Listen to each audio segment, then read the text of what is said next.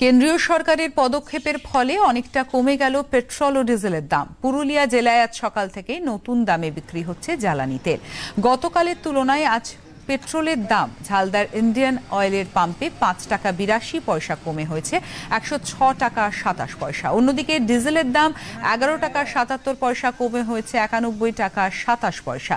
এতটা দাম একসঙ্গে কমে যাওয়ায় এদিন সন্তোষ প্রকাশ করেন গ্রাহকরা। স্বস্তির নিঃশ্বাস ফেলেন বিক্রেতারাও। তাদের বিক্রি বেড়েছে বলে জানান তারা।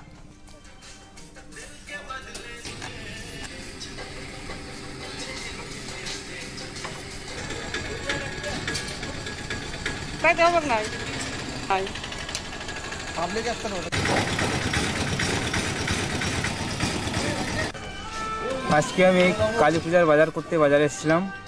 আজকে আমি যাওয়ার সময় পেট্রোল পাম্পে পেট্রোল ভরাবার জন্য ঢুকি। তো অন্য দিনের তুলনায় আজকে মোটামুটি আমি অনেকটা সাশ্রয় পেলাম। পেট্রোলের দামে অনেকটা সাশ্রয় পাওয়া গেছে।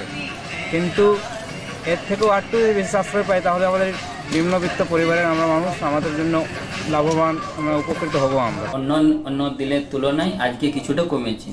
যেমন লিটার প্রতি একশো বারো টাকা জিরো নাইন ছিল পেট্রোলে, আজকে হয়েছে একশো টাকা সাতাশ। এবং ডিজেলের ছিল একশো তিন টাকা জিরো ফোর তিন তারিখে মানে গতকাল আজকে হয়েছে একানব্বই টাকা সাতাশ। লিটার প্রতি এগারো টাকা সাতাত্তর কমেছে ডিজেল পেট্রোল কত টাকা পেট্রোলে পাঁচ টাকা বিরাশি।